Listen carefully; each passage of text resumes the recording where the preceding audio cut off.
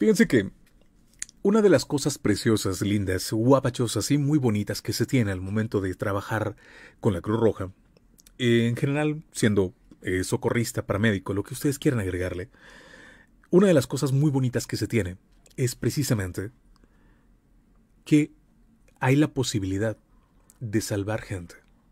Es la primicia general de todo esto. Ver eh, cómo nace una vida, porque me tocó una cantidad enorme de gente que también eh, daba a luz. Pero la satisfacción de haber hecho un buen trabajo es una de las cosas que de verdad se te queda clavadísima en el corazón.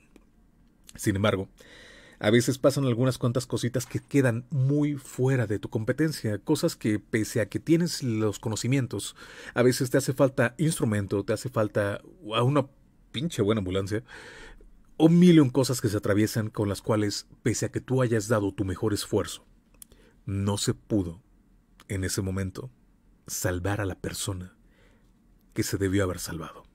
A veces por tiempo, a veces por mala respuesta por parte de los familiares, a veces por un por tráfico, por mil cosas.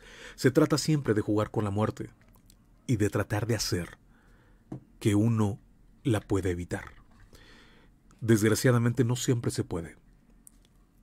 Y en otras ocasiones hay momentos horribles, definitivamente, en donde la misma muerte pareciera que te va siguiendo. Pareciera que es uno de los tripulantes más de esa unidad en la cual tú vas tratando de ayudar a las personas. A veces pareciera que se ríe la cabrona y otras veces pareciera que simplemente está ahí, esperando que a su tiempo llegue esta persona a sus brazos, a sus besos. Cuando estuve ahí, me topé con más personas que eran totalmente veteranos de, Cruz Roja. Y en una ocasión había un, gran amigo mío que ese, en el año en el que yo entré, fue pues el, en el momento en el cual él dijo, ¿sabes qué? Fue suficiente, yo me voy. Ya me tocó hacer muchas cosas, ya me tocó pasar muchos momentos salvando gente. Yo estoy completo aquí. este amigo que no le perdí la pista hace muchos años. En ese momento tenía casi los 65 años y seguía activo. Y en una ocasión estaba, yo estaba hasta la madre, estaba de verdad harto de que las cosas no se dieran. A veces te pones muy competitivo al momento de estar ahí tratando de hacerle a la mamada de creer que puedes vencer tantas veces a la muerte o eludirla o ayudar a eludirla, que estaba harto porque muchísimas personas habían fallecido en ese momento en mis manos, más de las normales que se pudieran ser. Habíamos tenido al menos unos 12 servicios en lo que iba de todo el día. Desgraciadamente, de esos 12 servicios, si no mal recuerdo, 11 habían terminado fatales. No se pudo salvar a la persona, las personas fallecieron en el lugar, no se pudo llegar a que lo atendieran, muchas cosas así.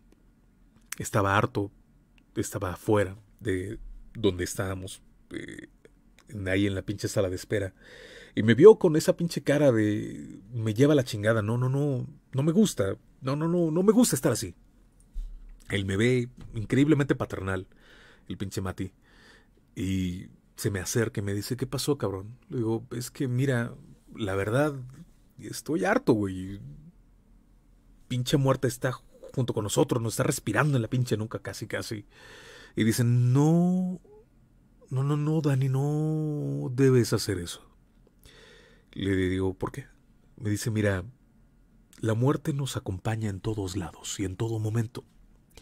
La muerte la tenemos justamente aquí, cabrón. La tenemos aquí, presente, aquí. Nos da una vida entera de ventaja para poder hacer lo que nosotros queramos y de repente simplemente aunque corramos, cabrón, dice, llega para con nosotros. No es que la tengamos acá. Al menos no presente, al menos no que la podamos ver. Y en ese momento sí le dije algo quizás muy molesto. Y le digo, bueno, me lo dices de esa forma como si no sintieras cuando fallece alguno de tus pacientes, cabrón. Y dice, no es tanto eso, sino que he tenido la certeza de que la misma muerte me ha llegado a hablar a veces. Y yo así de, ah, cabrón, si no es indiscreción, ¿cómo? ¿Cómo fue? ¿Qué pasó? ¿Qué, qué, qué viste? Dice, mira, hace más o menos unos 10 años, Dice, yo estaba, pues no te voy a decir que totalmente pleno, cabrón, pero sí era bastante más fuerte, más corpulento que ahorita. Dice, hacía mucho ejercicio, pese a que eh, ya estaba grande. Dice, tenía ese, ese ímpetu chingón. Tenía un garbo muy, muy, muy cabroncito de, de verme eh, salvando gente. Y en una ocasión en la cual me tocó eh, que nos hicieran eh, un llamado para un servicio. Dice, yo fui, como siempre, bien, bien, bien preparado mentalmente para poder acercarme a todo eso. Dice, y al momento que llego, bueno, que llegamos, dice, me bajo de la unidad, camino unos cuantos metros. Nos habían radiado de que alguien había atropellado a otro alguien y que ambos habían ah, resentido el accidente, uno porque se salió por el parabrisas y el otro porque había sido atropellado en una bicicleta. Dice, desgraciadamente, no, dice, como a veces pasa, no dan toda la información completa. Y resulta, cabrón, que en la bicicleta iba un señor, un viejito, y llevaba a su hija. Dice, y pa' maldita suerte, la señorita llevaba en brazos a su nieta. Dice, ahí van los tres en la bicicleta, cabrón. Dice, a veces uno da por hecho de que eh, la cadena de vida tiene que ser siempre así. Primero mueren los viejos, luego los de mayor edad, los adultos, los jóvenes y al último los niños y los bebés. Y siempre da por hecho eso. Siempre tiene que morir el más viejo, ¿verdad? Pero ¿qué pasa cuando tú llegas y te das cuenta que del impacto desgraciadamente fallece? La nieta y la hija. En el momento. Quedaron debajo del vehículo que las atropelló. La, la bicicleta quedó hecha una pinche piltrafa completa. El señor, el viejito, estaba totalmente anonadado viéndolos. Estaba acercándose directamente a donde estaba su hija, abajo de la camioneta, ya sin vida. Ahí se encontraba acariciando el cabello que todavía estaba cayendo directamente en el agua hemático que produjo el que ella se desangrara también. Estaba atendiendo completamente su pérdida. Dice cuando nosotros nos encontramos y lo primero que vimos, al primer, la primera persona que vimos era el conductor. Salió por el parabrisas, cabrón. Dice, al momento de que lo vimos, había caído de cráneo directo sobre el pavimento, sobre el asfalto. Debió haberse deslizado unos 15 metros tal vez de donde fue el impacto. Deslizar el cráneo de una persona por el pavimento es lo mismo que agarraras un pedazo de mantequilla y lo embarraras directamente por un pedazo de lija, cabrón.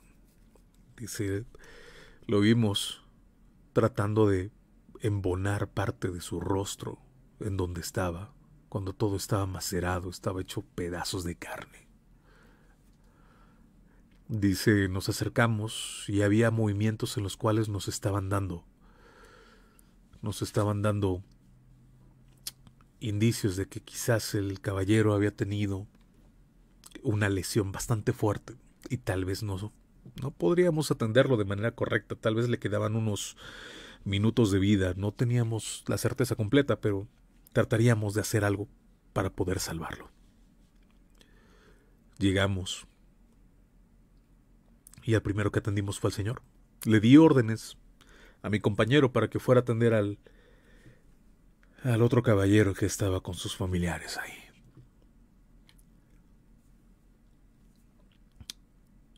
Empecé a checar sus constantes, revisar vía aérea. Y cuando llegué a checar el reflejo de sus pupilas, una se dilataba y la otra no. Entonces... Ah, Sabes que algo muy malo está pasando ahí y no tenemos la capacidad de poder entrar en acción directamente para todo esto.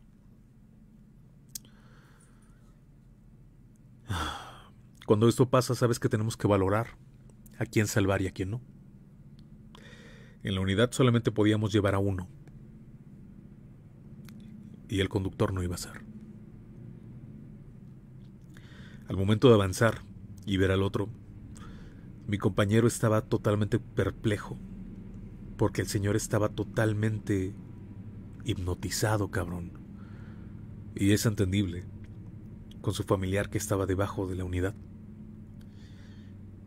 Trataba de acariciarle el rostro, de lo poco que llegaba a verse con toda la sangre que estaba ahí. Entre los brazos de la de la señora estaba un poquito de cabello que podía verse que era de la niña.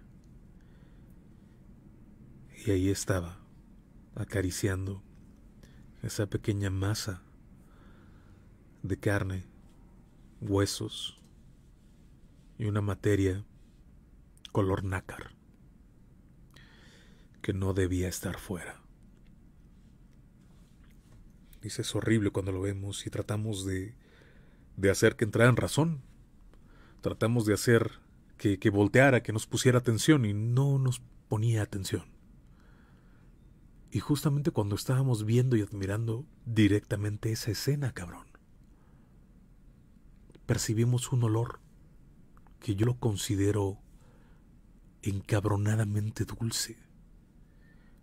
Un olor que, que era reconfortante, cabrón.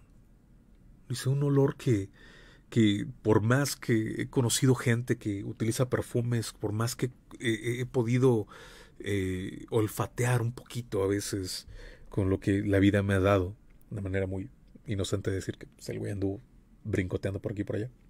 Este, perfumes de mujeres, cabrón.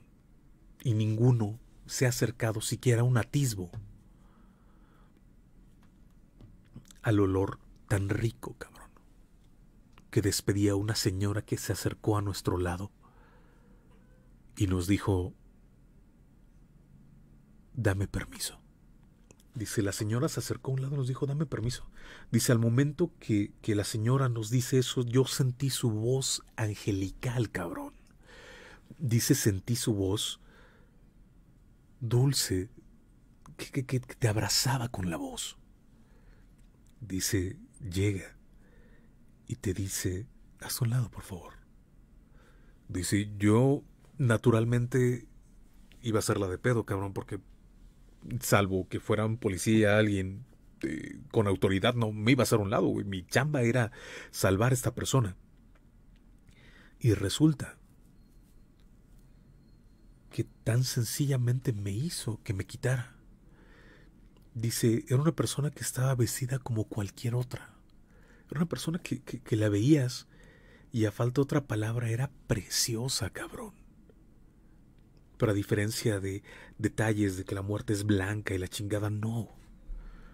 Dice, era, era una señora, dice, yo, yo he ido a algunas comunidades rurales, dice, porque mi, mi familia es de por allá, de, de unos eh, sitios, dice, muy, muy eh, metidos en lo que viene siendo la Sierra Sur de Oaxaca, cabrón.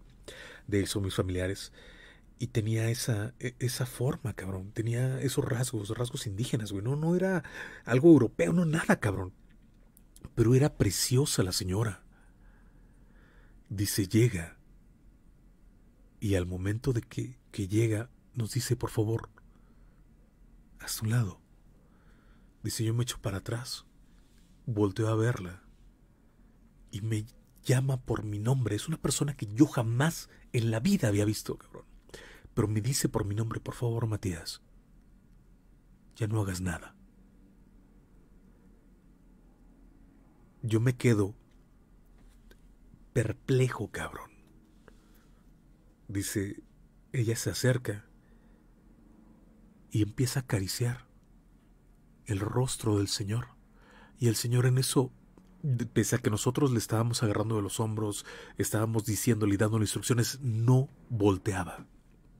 No hacía nada, no respondía, pero cuando llega la señora, le toma de la barbilla y con como si fuera una caricia de madre, cabrón, le voltea la barbilla. Lo ve, dice, y el señor se sonríe, pero se sonríe tan tan entrañablemente, cabrón, como como si supiera de verdad que eso quería, que, él quería que ella estuviera ahí. Dice el, Señor voltea y simplemente cierra los ojos, los vuelve a abrir, sonríe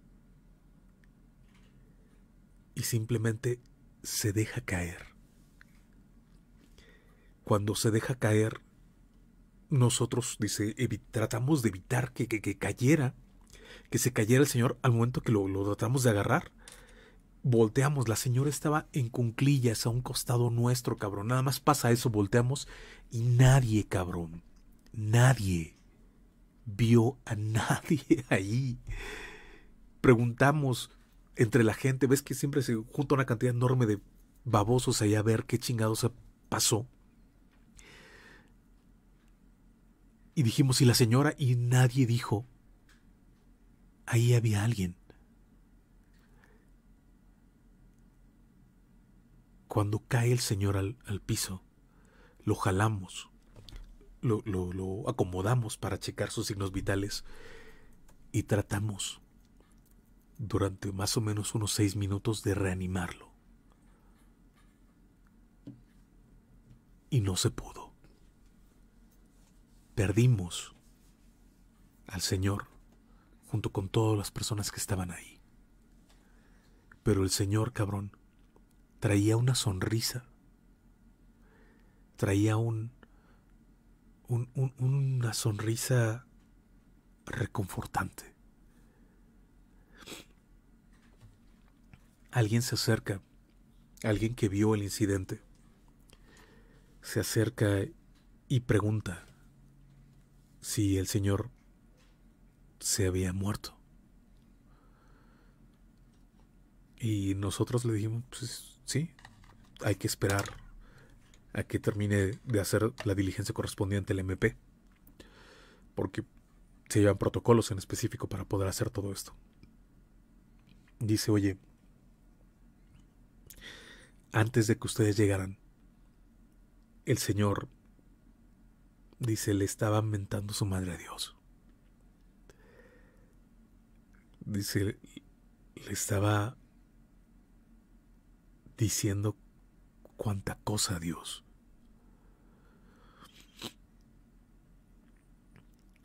Y en una de tantas dice, yo le escuché pedirle a la muerte que viniera por él. Y se le pegó al piso, lo gritó, pidió que la muerte viniera por él. Y de verdad, al momento de, de ver cómo pasó todo esto, simplemente se dejó caer. Y, y, falleció con una sonrisa, cabrón, como si... como si de verdad le hubiera esperado.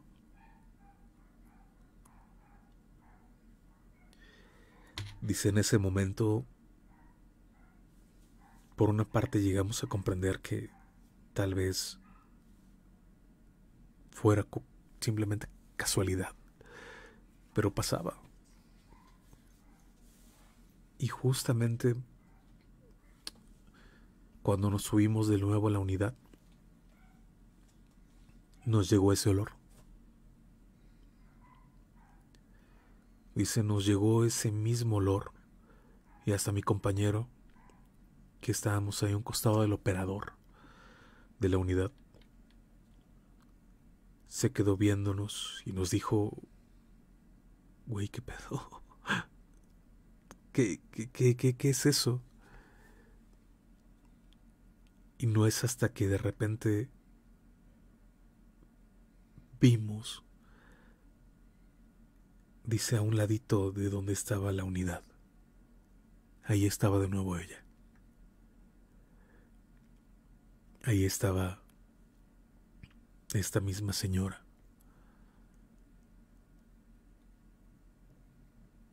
Y nos sonrió. Pero a diferencia de lo que vimos con este señor al momento de sonreírnos, no fue como la sonrisa esbozada, sino fue una sonrisa que debía mostrar los dientes. Y no tenía dientes. Cuando sonríe simplemente fue como la sonrisa de una viejita. Dice, y si te lo cuento, créeme que me vuelve a erizar la piel al momento de volver a recordar cómo era. Y en un puto parpadeo, cabrón, en un parpadeo rapidísimo. Nos dimos cuenta que al momento de que parpadeaba ya no tenía ojos.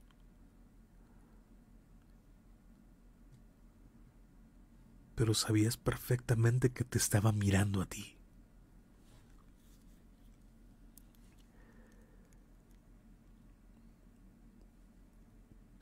El operador no quiso quedarse más tiempo ahí y decidimos irnos de nuevo a la base. Al momento que llegamos acá era bien culero porque el olor que quedaba era muy tenue.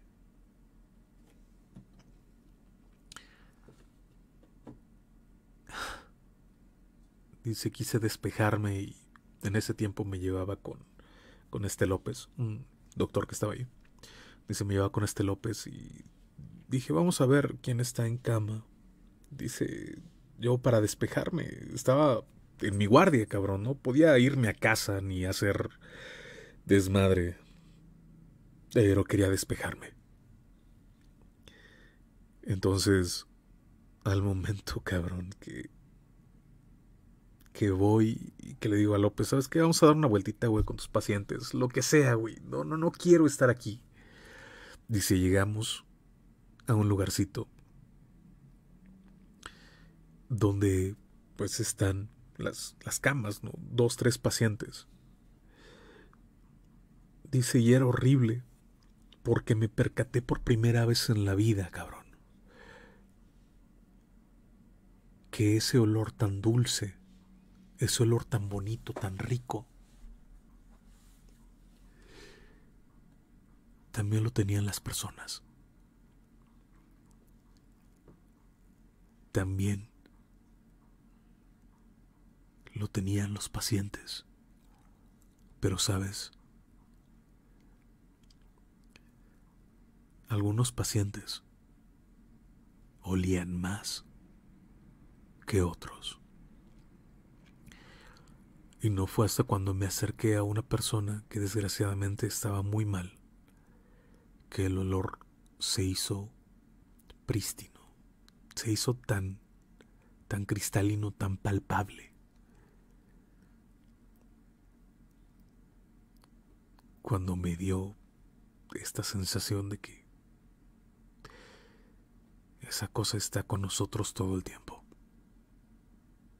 Y a veces no lo notamos. A veces no nos daremos cuenta hasta que esté ahí. A veces simplemente dejamos de ponerle atención, pero siempre está con nosotros. Ya nace con nosotros. Está ahí, perdida, en una parte de nuestro cuerpo que tal vez en algún momento va a fallar. O está ahí afuera, en un árbol que todavía no ha crecido, pero que te caerá cuando seas grande referencia Macario. o está ahí sin saber que tú la vas a provocar en algún momento con un accidente. Nunca sabes dónde está. Pero de que la llevas contigo, cabrón, la llevas contigo. Fíjate que me acordé de, esa, de ese detallito cuando me lo dijo. Y el cabrón estaba tan metido en, en la anécdota y yo así de... Hola, verga. Lo culero fue que la contó y había un paciente a un lado. y yo así de, no seas hijo de la verga, porque el paciente también estaba así de cagado. O sea, el güey tenía una fractura en el brazo y el güey estaba cagado así de, de, miedo y así como que, güey, no, no, no, por tu fractura no creo que te vayas. ¿Te acuerdo que le dije? No, no creo que te vayas por tu fractura, carnal. Pero sí es horrible. Porque sí, eh, eh, en lo personal, no... Eh, ¿cómo, decirlo? Entiendo que es algo totalmente natural, pero de repente sí te saca de pedo que estás en hospitales y, y te suceden un chingo de madres. De repente cambian cosas, pasan cosas y al menos en los cuales me tocó a mí. Y sé que es increíblemente cliché ese pedo de la planchada, pero no mames, sí, sí, llegaron muchas ocasiones que muchas enfermeras, que, que vamos a decirlo de una manera muy sutil, andaban de curiosas entre dos letras, entre la L y la P, que estaban por allá buscando frugalmente el amor en algún pinche eh, consultorio que esté abierto, alguna pinche camilla que se hayan encontrado por allá, vete a saber dónde chingas más se meten. Y de repente vemos que ya llega el pinche R1, uno de los internos, un pinche R1, R2, la chingada, y una de las enfermeras, una camillera, dijo, güey, ¿qué pasó? No, nada. y así, ¿qué pasó, cabrón? Nada.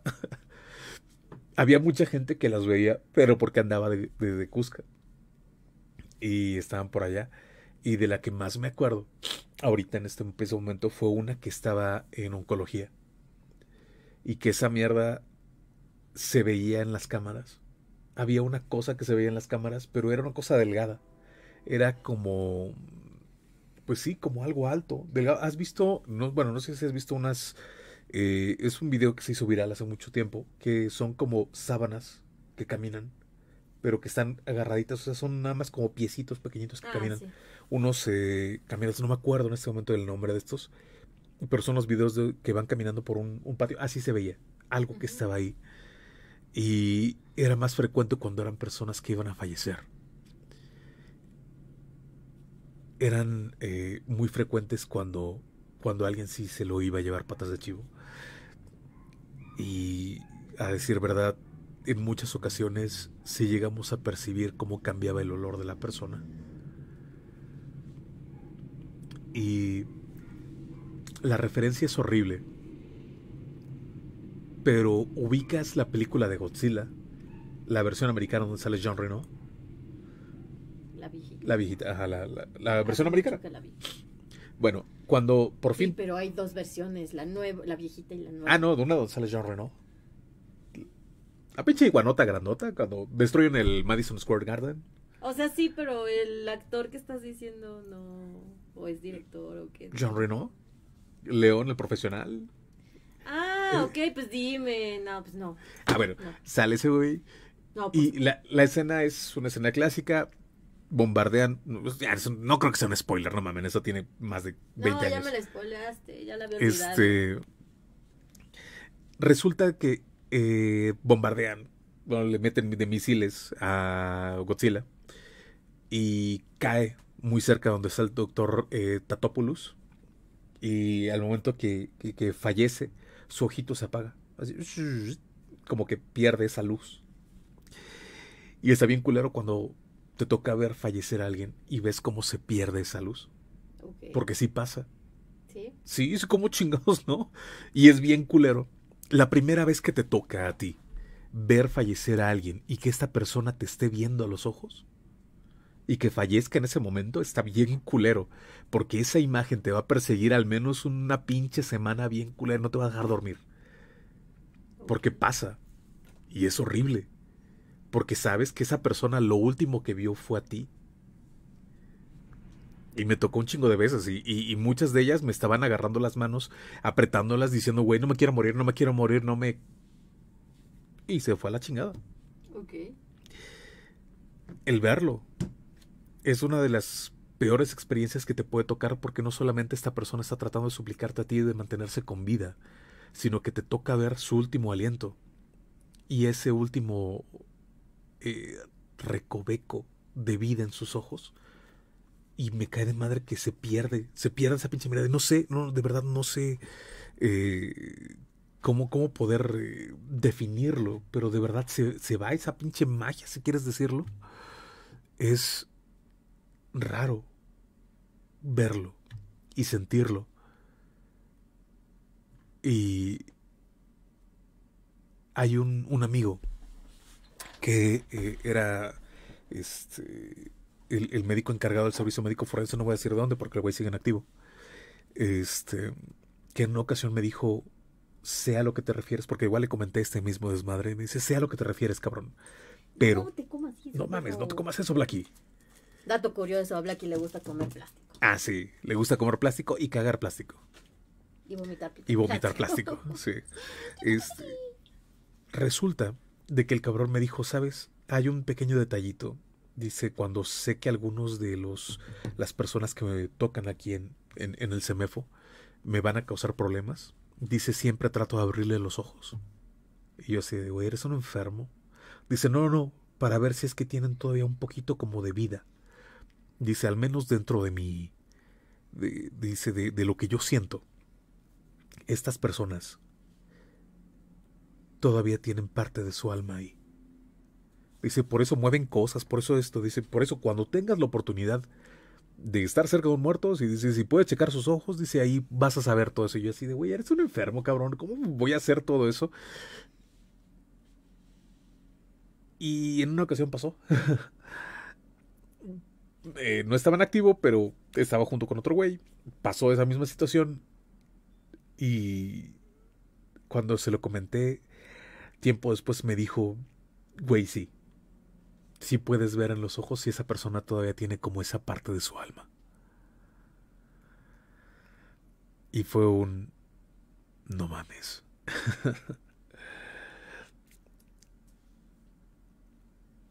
La muerte a veces tiene esa, ese detallito de visitarte de vez en cuando y decir, aquí estoy, aquí estamos, presentes. Y un amigo me decía que a veces cuando él estaba solo, quedaba un hospital muy cerca donde él vivía. Por cierto, Willy, un abrazote hasta donde estás. Eh, ese güey me decía, se siente bien culero cuando fallece alguien. Y yo así, supongo que sí, para la persona que fallece, güey, pero no creo que tú puedas llegar a sentirlo. Y me dijo, no, güey, o sea, yo estoy más que seguro que la muerte pasa con las personas que se lleva por mi pinche casa, güey. Digo, ¿por qué, cabrón? Dice, porque cada vez que fallece una persona y se la lleva, yo puedo sentir como esa persona todavía como que se va arrastrando, va aferrándose a cosas y tiran cosas de mi pinche casa y todo eso, pero se van, güey. Como es como paso de ellos, güey, es horrible. Y me acuerdo cuando yo vivía arriba de un hospital que así pasaba y te tocó a ti. En eso, quieres decir que no, pero en esas ocasiones cuando fallecían las personas, pues, tú veías que arriba pasaban cosas. Pasaban muchas cosas. Pasaban cosas horribles ahí. Y bueno, al menos el día de hoy no quería eh, dejar pasar la oportunidad y agradecerles por sus palabras, por las cositas que pusieron en el post anterior. Y agradecerles por estar aquí, por seguir siendo parte de estas historias, por escucharlas y porque pese a que habíamos tenido mucho tiempo sin poder eh, contarles, aún estaban en espera de nosotros. Muchas gracias y al menos pequeñita o rapidita, esta fue la historia de esta noche. Vamos a tratar de que los viernes regresar a la programación habitual o que se sigan subiendo. Si no muero primero. Exactamente. Los viernes son los días de transmisión para la gente nueva que está llegando. Si gustan ver los demás episodios, mucho más creepy que estos, se encuentran en YouTube y en Spotify. Pero si buscan en YouTube, nos ayudarían mucho. También se monetiza tantito por allá. Guiño, guiño. Gracias por haber estado un ratito con nosotros. Gracias por haber estado aquí y por seguir estando. De parte mía, de parte de la tía Clau. Muchas gracias por, eh, pues sí, haber estado esperanzados o, que no muera la esperanza, abuelita. Este, sí, este, pues sí, esperando por, por las historias del tío Dani. Y mis pendejadas. Y más cosas que vienen y que se acercan. De verdad, gracias a todos ustedes por haber estado en este ratito, en esta horita que quisimos robarles de su noche. Espero les haya gustado, les haya agradado y si hayan tenido como el detallito de querer escuchar más se encuentra ahí en YouTube.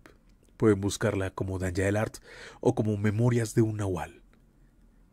Eh, no sé si es que alguien de aquí, de la gentecita que está escuchando, pueda recomendar alguna de las historias, la que más les haya gustado a ustedes, gentecita preciosa.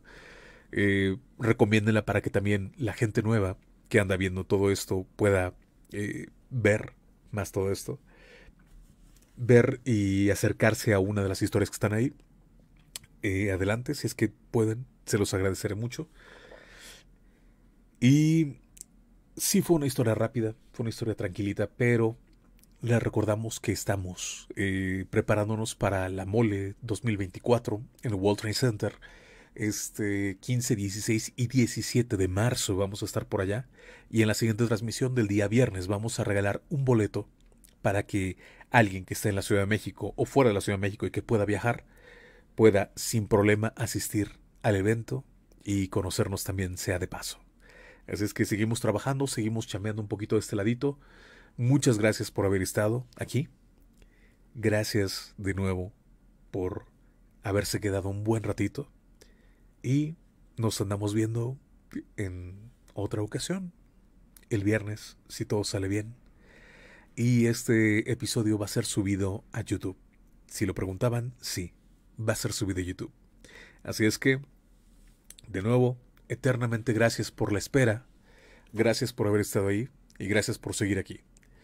De parte mía, yo soy Luis Daniel Cabrera, me conocen como Dan el Art. La tía Clau. Ah, hola, soy Clau Cherry Stars y soy la tía Clau. Y ya me despido. Sí. ya, esto ya, ya felpó. Este, bueno, alguien me pidió otra vez la canción de Chispita, entonces la voy a, la voy a cantar de nuevo. Chispita existe, chispita es amor, chispita existe, chispita es amor, chispita vive en sus corazones, Tupi Babies. Pues bueno, muchas gracias Nos retiramos por todo. por bebés. todo y nos andamos viendo en otra ocasión. Muchas gracias por estar aquí y tengan cuidado al dormir, porque luego a veces uno sueña cosas y si en el sueño mueres, Como yo. Tú no mueres en los sueños, tú sientes que te caes. Ya te había contado que soy soñé una vez que me habían matado. ¿Cómo crees? Sí. Ya me acordé. sí, sí. No es cierto, no te has acordado. No. De una ocasión, yo sí me acuerdo que soñé específicamente que yo era el único vivo en todo el velorio. ¿Y a quién estaban velando? A mí era horrible porque de repente despertaba y veía así como que, güey, ¿dónde putas estoy? Y de repente me levantaba y toda la gente estaba muerta y fue de, ¿por qué yo sobreviví? ¿Qué chingados? Era, era rara esa, esa situación. Pero sí. Ahora sí, nos andamos retirando. Cuídense, gentecita preciosa. Nos vemos en otra ocasión, el viernes, si todo sale bien. Un abrazo y besos. Cuídense. Besitos en. Sus tatemas.